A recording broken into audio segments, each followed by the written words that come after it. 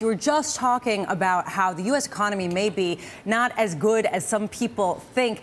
Tie consumer debt into this, given the fact that we have seen delinquencies starting to tick up. Yeah, sure. Lisa, for me, there's uh, three indicators. Two of them will come out this week to show us that the U.S. economy is in a late cycle. First is a 12-month moving average of non-farm payrolls. That peaked in 2015, almost 100,000 higher than the current 12-month average. Other indicator of late cycle is auto sales. Same kind of story. 12-month moving average also turning down. Third factor, you mentioned delinquency on credit cards going up. This is another thing for me is late cycle, telling me there's stress in the economy.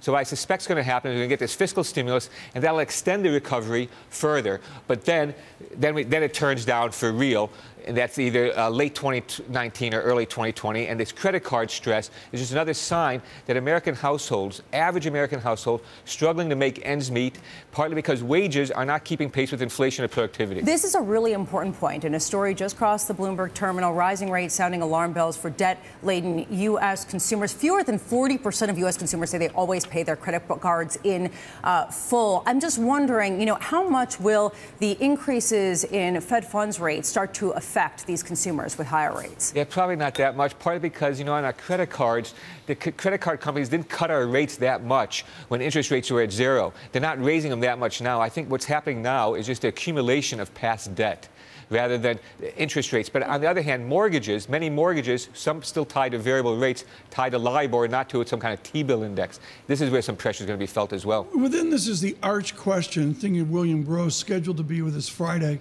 on Jobs Day uh, is is the financial repression. I mean, now that the Fed funds target rate, inflation adjusted, is almost back to zero, do you just assume that we'll fade out of our financial repression, the retirement agony of the last 10 years? Yeah, I don't know. I see people talk about financial repression, but at the same time, I see financial institutions reporting record profits. I get it, but come on, retirees are getting crushed. Yes, no I, think, I, think, I think that's the problem. It's not so much the financial repression. I think the low interest rates, which stimulate the economy, create jobs, is not helping everybody equally.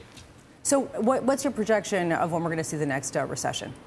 Yeah, so I'm looking at the downturn. First, I think we get a growth recession, by which I mean less than 1% GDP latter part of next year. And then when that's when the fiscal stimulus runs out, monetary tightening still biting, get the downturn ahead of the 2020 elections.